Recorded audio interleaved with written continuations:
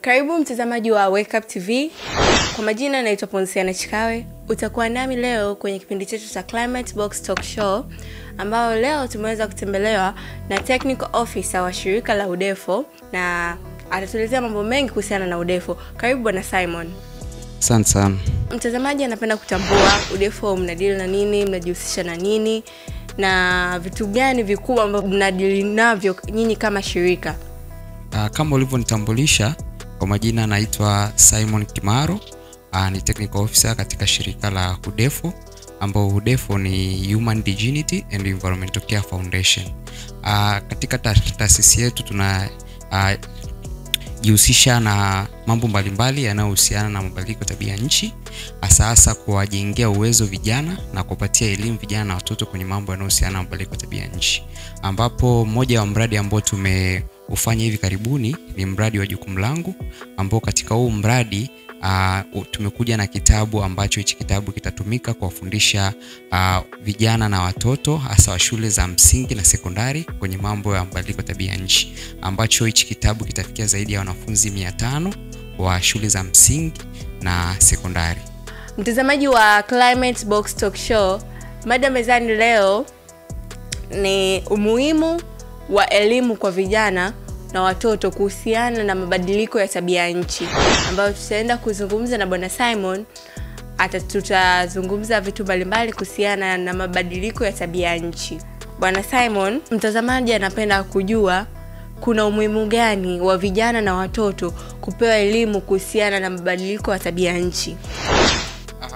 Kuna umuhimu mkubwa wa vijana na watoto kupatiwa elimu ya mabadiliko ya tabia ya nchi uh, kwa sababu tunafahamu hili ni moja ya kundi ambalo linaathirika moja kwa moja na, na athari zinazotokana na mabadiliko ya tabia ya nchi, na vile vile hili ni moja ya kundi kubwa ambao ni kama asilimia 60 ya watu wote duniani uh, ni vijana na watoto.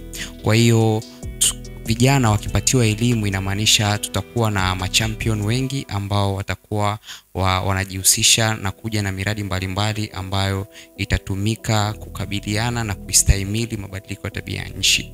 Uh, vile vile tunafahamu kwamba vijana ni watu wenye nguvu na wahamasishaji wazuri. Kwa hiyo inamaanisha vijana wanapokuwa na elimu ya mabadiliko ya tabia ya nchi ni rahisi kuwahamasisha wenzao na hata wazazi wao nyumbani ya uh, namna gani tunaweza kuja na mabadiliko ya kitabia kwa sababu uh, tunahitaji kuwa na mabadiliko ya kitabia ili kukabiliana na mabadiliko ya tabia ya nchi. Kwa hiyo vijana ni wahamasishaji wazuri. Ni vitu gani ambavyo vinapelekea kuwepo kwa mabadiliko ya tabia nchi? Kihistoria, kutokana na tafiti ambazo zimefanywa, mabadiliko ya tabia ya nchi yalianza kutokea tangu zamani na kipindi cha zamani mabadiliko ya tabia ya nchi yalikuwa yanasababishwa na sababu za kiasilia, lakini baada ya miaka kwenda, uh, tafiti zinaonyesha kwamba uh, athari zina, tunazoziona sasa hivi ambazo zinatokana na mabadiliko ya tabia ya nchi zinasababishwa na sababu mbalimbali, ambao mojawapo ni uongezekaji wa viwanda. Baada ya uongezekaji mkubwa wa viwanda uh, ilipelekea kuwa na mabadiliko makubwa ya tabia ya nchi, na vile vile kuna shughuli nyingi za kibinadamu ambazo zinachangia kwenye mabadiliko ya tabia nchi ambazo ni kama vile uh, shughuli za kilimo uh, ukataji miti na uchomaji wa mkaa. Tunaposema shughuli za kilimo tunamaanisha kile kilimo ambacho sio rafiki katika mazingira uh, katika matumizi ya mbolea mbalimbali hasa nitrogen fertilizers, ambazo hizi nitrogen fertilizers zinaenda kutoa kitu kinachoitwa nitrous oxide ambacho hichi uh, nitro, nitrous oxide inaenda kupelekea katika mabadiliko tabia nchi. Vilevile vile vile kwenye kilimo kuna matumizi ya nishati. Uh, tukiongelea matumizi ya nishati hasa katika upande wa umwagiliaji, kuchakata uh, mazao uh, tunapotumia nishati chafu uh, pia tunachangia katika mabadiliko ya tabia nchi. Kwa hiyo kiufupi, hizi ni baadhi ya sababu kubwa ambazo uh, zinazochangia kuwepo na mabadiliko ya tabia nchi. Okay, tungependa kutambua ni fursa gani ambazo vijana na watoto wanaweza kuzipata kupitia elimu ya mabadiliko ya tabia nchi. Uh, mbali na mabadiliko ya tabia nchi kuwa janga la kidunia uh, vile vile kuna fursa nyingi ambapo sisi kama vijana na watoto tukipewa elimu na tukijengewa uwezo tunaweza tukanufaika nazo. Uh, moja ya fursa uh, vijana tunavyofahamu tunafahamu vijana ni wabunifu kwa hiyo vijana wanapokuwa na uelewa mkubwa wa mabadiliko ya tabia nchi vijana wanaweza kuja na miradi mbalimbali ambayo hii miradi uh, inaweza ikatumika katika kustahimili na kukabiliana na mabadiliko ya tabia nchi. Kwa hiyo kupitia hii miradi vijana wanaweza wakajipatia kipato. Uh, vile vile fursa nyingine ni fursa ya ajira kwa sababu tunafahamu katika nchi yetu tuna tatizo kubwa la ajira. Kwa hiyo uh, vijana wanapokuwa na uelewa mkubwa wa mabadiliko ya tabia nchi wanaweza wakatumia uh, njia kama fursa ya ajira wakaajiriwa na mashirika mbalimbali mbali, ya kitaifa pamoja na kimataifa uh, yanayohusisha na mabadiliko ya tabia nchi. Um, fursa nyingine ambayo vijana wanaweza wakapata ni uh, fursa ya ufadhili wa masomo kwa sababu uh, kuna uh, mataasisi makubwa ambayo yanafadhili vijana mbalimbali wanao wenye uelewa wa mabadiliko ya tabia nchi kwa hiyo vijana tunapokuwa na uelewa tunaweza tukabahatika tukapata hii fursa ya kufadhiliwa katika elimu yetu ya juu uh, na haya mashirika okay bwana simon kupitia mabadiliko ya tabia ya nchi kunakuwa kuna athari mbalimbali zinakuwa zinatokea sindio sasa tunapenda utuambie hizo athari zinawaathiri zinawaathiri zina namna gani vijana na watoto uh, kuna athari mbalimbali mbali ambazo zina zinawakumba au zinawaathiri vijana na watoto hasa kwenye upande wa mabadiliko ya tabia nchi. Kwa sababu uh, tunapoongelea mabadiliko ya tabia ya nchi kuna makundi mbalimbali mbali ambayo uh, yanakuwa mstari wa mbele uh, wanapoathirika na mabadiliko ya tabia nchi ambapo vijana na watoto ni kundi mojawapo. Hizi uh, kuna athari tofauti tofauti. Kuna athari zile za moja kwa moja ambao tukiongelea zile athari za moja kwa moja ni athari ambazo zinaathiri uh, afya na ustawi wa vijana na watoto. Tunapoongelea afya na ustawi wa, wa, wa, wa vijana na watoto uh, tunaongelea kwamba uh, kule kuzuka kwa magonjwa mbalimbali yanayosababishwa na mabadiliko tabia ya nchi uh, jambo jingine ni ukosefu wa chakula. Kwa sababu tunapoongelea mabadiliko ya tabia nchi uh, uh, moja ya, ya athari mojawapo ni ukosefu wa chakula ambao unasababishwa pia na ukame wa muda mrefu ambao unaathiri vijana na watoto moja kwa moja. Uh, pia athari nyingine ambayo inaweza ikawaathiri vijana ingawa sio moja kwa moja uh, kuna athari ya uharibifu wa miundombinu kwa sababu kunapokuwa na mabadiliko ya tabia ya nchi huwa inasababisha mambo mengi kama mafuriko kwa hiyo haya mafuriko yanaenda kuleta uharibifu wa miundombinu mbalimbali. Kwa hiyo hii inaweza ikawa ni athari mojawapo ambayo inaweza ikawaathiri vijana na watoto ingawa sio moja kwa moja. Unafikiri nini kifanyike ili kuweza kutatua tatizo hili la mabadiliko ya tabia ya nchi?